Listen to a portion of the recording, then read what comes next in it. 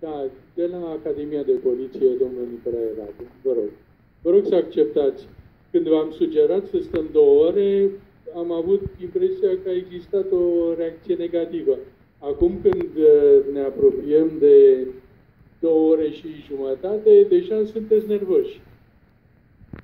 Ce, explicați-mi, care e... Da, președinte, mulțumesc, mulțumesc pentru susținere, bună seara dumneavoastră și distinsului autor, cât și a celor prezenți în video. Uh, firesc că în această seară nu vreau să uh, duc discuția mai departe, însă uh, aș avea rugămintea cu dumneavoastră să încercăm să concluzionăm un singur aspect. România rămâne o Românie a tuturor românilor, avem nevoie de această Românie frumoasă.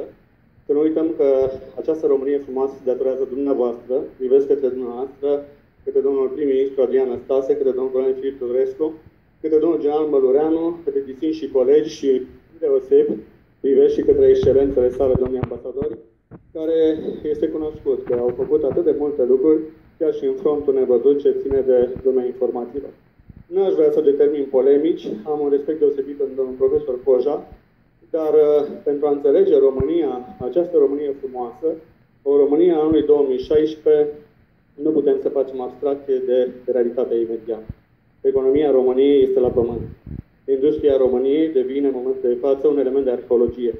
Îmi permite în momentul de față să-l parafrazez pe distinsul profesor Ioan Scurtu, care nu a ezitat la uh, vârsta domniei sale și la experiența domniei sale să atragă atenția și vă rog, vă rog, cu deosebit respect pe fiecare dintre dumneavoastră să țineți seama acest lucru, că împotriva României se duce într-un mod concertat o uh, luptă, ca să nu spunem un război, pentru ceea ce înseamnă deznaționalizare și ștergerea identității naționale.